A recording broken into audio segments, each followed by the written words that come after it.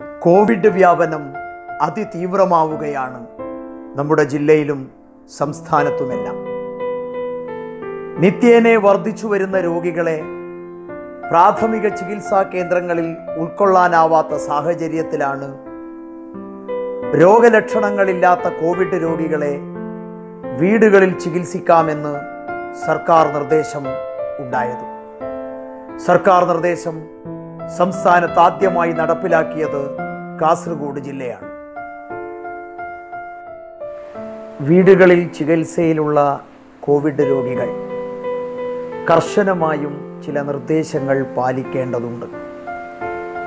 കൃത്യസമയത്ത് പോഷകസമൃദ്ധമായ ഭക്ഷണം കഴിക്കുക ധാരാളം ശുദ്ധജലം കുടിക്കുക രാത്രി ഏഴ് മുതൽ എട്ട് മണിക്കൂർ വരെ ഉറങ്ങുക രോഗലക്ഷണങ്ങൾ ഉണ്ടോ എന്ന് സ്വയം പരിശോധിക്കുക.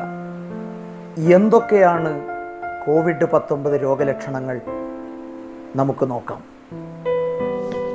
പനി ചുമ ക്ഷീണം വിശപ്പില്ലായ്മ ശ്വാസതടസ്സം വയറിളക്കം ഓക്കാനം ഛർദി മൂക്ക് ചുണ്ട് എന്നിവ വിളറി നീല നിറമാവുക പേശിവേദന തൊണ്ടവേദന മണം രുചി എന്നിവ അറിയാതിരിക്കുക. രോഗലക്ഷണങ്ങൾ ഇതൊക്കെയാണെങ്കിലും രോഗം സങ്കീർണമാകുന്നുണ്ടോ എന്നതിന്റെ സൂചനയും രോഗി അറിഞ്ഞിരിക്കേണ്ടതാണ്.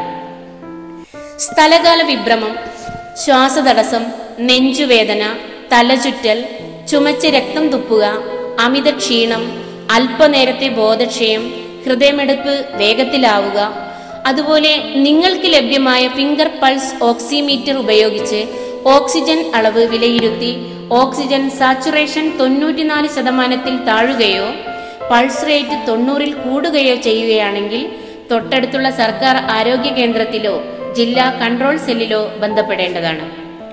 കൺട്രോൾ സെൽ ഫോൺ നമ്പർ തൊണ്ണൂറ്റൊൻപത് നാൽപ്പത്തി ആറ് പൂജ്യം പൂജ്യം പൂജ്യം രണ്ട് ഒമ്പത് മൂന്ന്.